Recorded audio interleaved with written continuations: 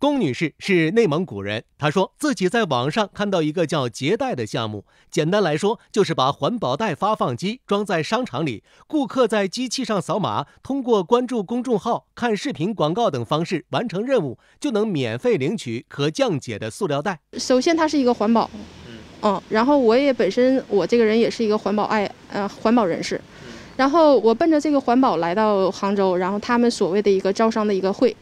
呃，当时会场就是怎么说，就是挺鼓舞人心的感觉。龚女士和巨享智能科技杭州有限公司签了合同，支付了十三万。公司需要提供四十台机器，顾客每领取一个袋子，龚女士就能得到零点二五元佣金。合同期限为三年。我签合同的日期是十二月十六号，然后到月底了，我一直在跟他们这个说这个机器什么时候到。嗯，然后他们工作人员后期的工作人员说，呃，什么机器紧张呀，或者是就是以各种理由来告诉我这个机器暂时发不出去。合同里约定是免费给我们提供袋子，然后我又同时问售后人员，我说这个袋子我们要什么时候出来嘛？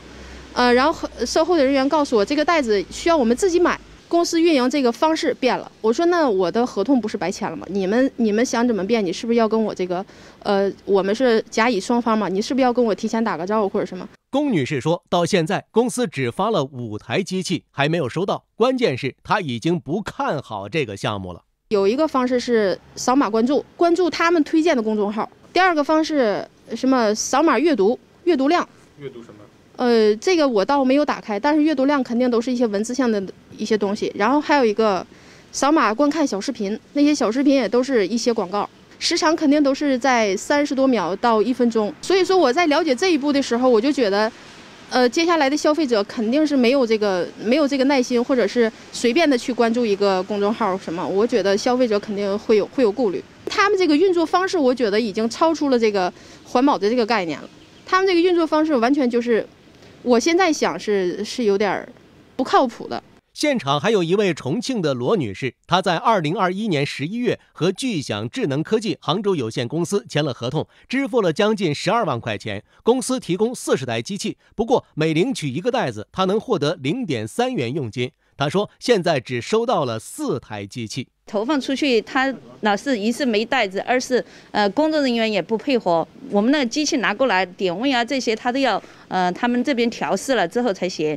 好，后来老是打电话公司，公司没有人接，老板老板也不接电话，所以说后面我们就感觉不做这个事情了。罗女士表示，现在佣金也没有办法提现了，他们提出解除合同进行退款，但公司的做法让他们无法接受。就说我们的诉求是要求他，呃，完全的退我们，因为违约是在他们在先。后面的话，他说退款是可以，但是要扣除三分之一的违约金，并且，并且那个费用还要在跟他签合约了过后，要六个月之内才陆续的发放给你。龚女士带记者找到巨响智能科技杭州有限公司办公地点，在杭州余杭的拎包客青年创业社区里，没有工作人员在。